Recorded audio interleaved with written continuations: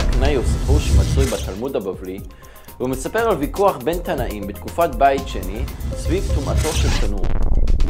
המיקוד בסיפור אינו סביב טומאת התנור, אלא על מידת מעורבותו, או יותר נכון אי מעורבותו, של אלוהים בעיצוב דמותו ואופיו של עם ישראל. הרב אליעזר בן הורקנוס מתנה את אמת קביעתו בהתרחשות מעשים על-טבעיים שכביכול מתגשמים, אבל יתר החכמים, ובראשם הרב יהושע בן חנניה, אינם מקבלים את פסיקתו. חזר ואמר להם רבי אליעזר, אם ההלכה כמותי מן השמיים יוכיחו. יצאה בת קול מהשמיים ואמרה שהלכה כרבי אליעזר. עמד רבי יהושע ואמר, לא בשמיים היא. כל החוקים שהתקבלו בהר סיני אינם יכולים להשתנות, ושם נאמר אחרי רבים להטות. ההכרעה היא בידי הרוב. מה עשה הקדוש ברוך הוא באותה שעה? היה מחייך ואומר ניצחוני בניי, ניצחוני בניי. אז מה אנחנו קוראים כאן? שני דברים עיקריים.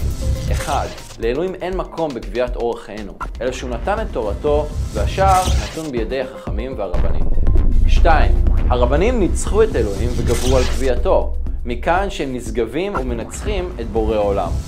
אז אני שואל את השאלה הבאה, אם אין אלוהים מקום בקביעת אורח חיינו, ובהדרכתנו כיצד למלא את המצוות שהוא עצמו נתן, איפה כן יש לו מקום?